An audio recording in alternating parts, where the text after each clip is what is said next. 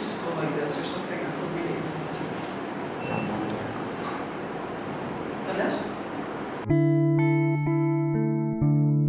Uh, we want the truth, don't we?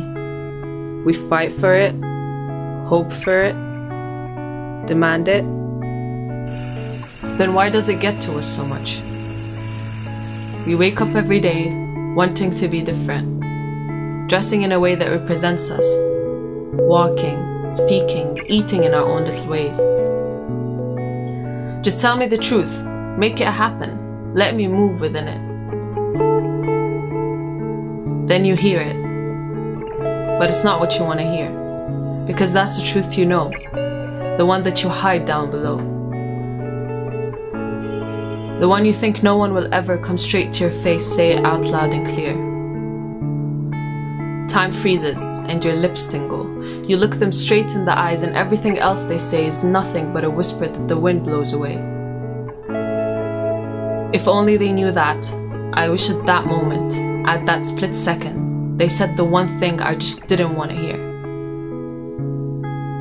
I have been hiding it for years, living my life through other people's dreams. Looking in the mirror, and it's them I see. Fake and vain is something I refuse to take in, or that's what I thought. Until I found out it is in me, except I hide it with my pretty little lies and my mysterious smile. The truth shakes the ground, makes you disappear, leaves everything ugly stand still for everyone to see. That's when you want to defend yourself. Wait a minute. I'm not like that, but everything around me is. My past made my present to be this obscure. Don't look at me. This ugliness isn't mine, it's what they put in me. This weakness isn't mine. It's because I've been fighting for years. Yet the eyes of the truth keep staring straight through you because they have heard the story before for years and years.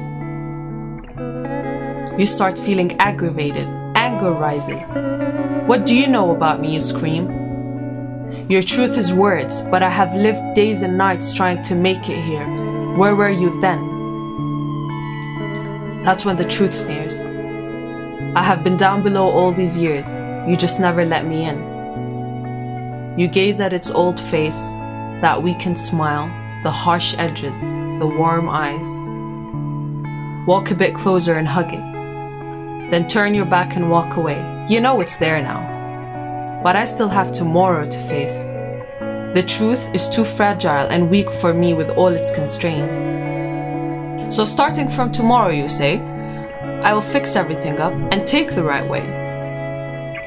Tomorrow comes, and the day after.